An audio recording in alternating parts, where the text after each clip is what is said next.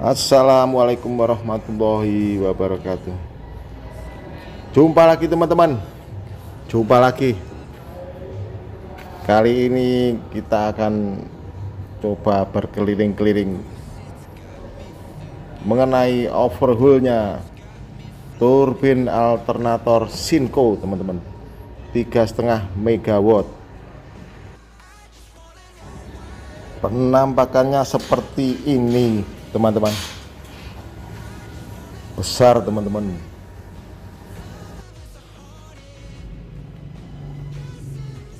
Lumayan besar ya teman-teman ya. Oke seperti ini penampakannya.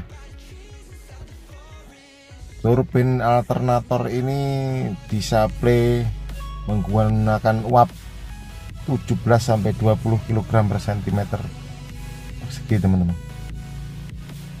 Yang disuplai dari ketel uap. Oke teman-teman. Ini adalah proses pembersihannya dari kerak-kerak dibersihkan ya teman-teman. Oke sekedar pengetahuan saja. Ini ada empat tingkat teman-teman ya sudu-sudunya. Uap masuk sudu pertama lalu masuk ke sudu kedua ketiga dan keempat. Terakhir menjadi uap bekas untuk proses lainnya di pabrik teman-teman ya.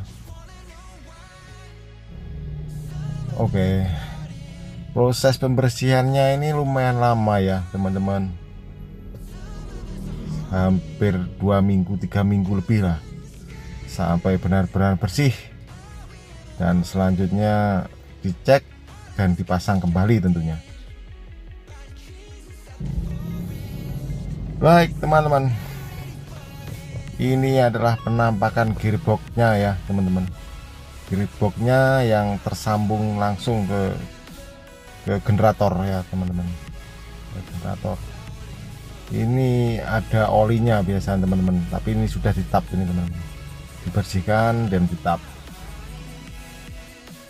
seperti itu. Biasanya gearbox ini disebut dengan LSR teman-teman. LSR low speed reducer kalau tidak salah. Silahkan di komen kalau saya salah teman-teman ya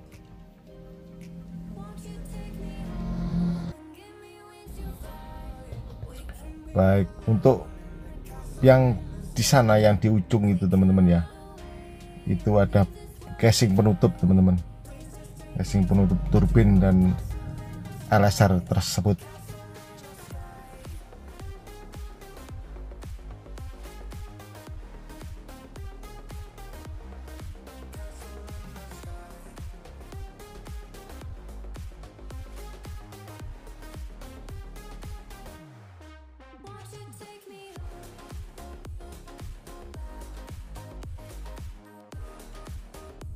sekedar pengetahuan teman-teman. Itu yang diuntal-untal sama kardus itu adalah high speed atau HSR teman-teman. Lalu itu adalah sudu-sudu ya teman-teman. Sudu-sudu empat tingkat. Agar mempunyai performa yang performa daya yang bagus kuat teman-teman lalu lanjut yang di belakang teman-teman. Itu adalah valve emergency teman-teman ya. Oke itu berguna untuk membuka konsumsi uap ke turbin waktu start teman-teman ya. Start awal. Kalau yang ini ini istrinya emergency itu teman-teman ya. Itu gandengannya itu jodohnya teman-teman. Nah itu dimasukkan nanti teman-teman ya.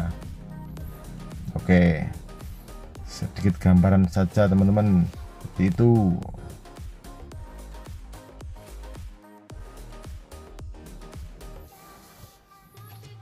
Kalau yang ini apa ya teman-teman? Ini bagian bawah itu teman-teman. Casing bagian bawah teman-teman. Itu ada metalnya. Kurang tahu namanya apa. Labirin apa apa gitu teman-teman. Yang tahu komen di bawah teman-teman ya. Saya juga belum terlalu paham kalau ini. Lanjut teman-teman. Ini adalah panel panel kontrol untuk turbin alternator Sinco teman-teman seperti itu penampakannya. Harus posisi dingin teman-teman ya. AC harus dingin. Karena hardware sangat rentan teman-teman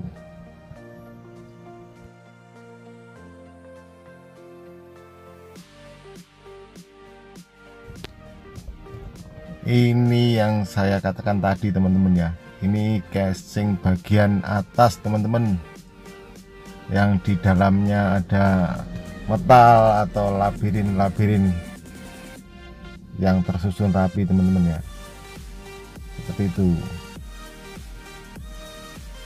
Itu ada pembukanya menggunakan kunci L teman-teman. Dan labirin tersebut pecahan teman-teman ya. Setengah lingkaran dipecah lagi jadi seperempat lingkaran.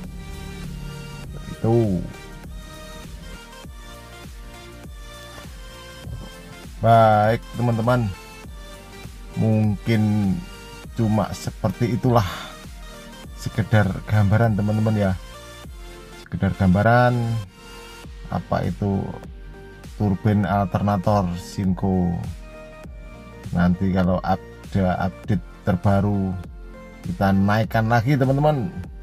Semoga ada update terbaru. Terima kasih telah menonton teman-teman. Terima kasih. Sampai bertemu lagi di lain kesempatan. Assalamualaikum warahmatullahi wabarakatuh